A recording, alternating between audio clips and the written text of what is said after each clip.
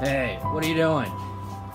Oh, I'm just fixing up my Randy Cheeseburger picnic sign. I got a whole bunch of Randy Cheeseburger picnics that I'm doing. Check it out. Got it written down on my handy dandy clipboard right here. October 23rd, going to Attica, New York, a place called the White Beetle Room. I've never seen a white beetle, just the black dirty one. Woo! Randy Cheeseburger picnic. We're gonna sing some songs, tell some jokes, have some games and contests and prizes. I can't wait.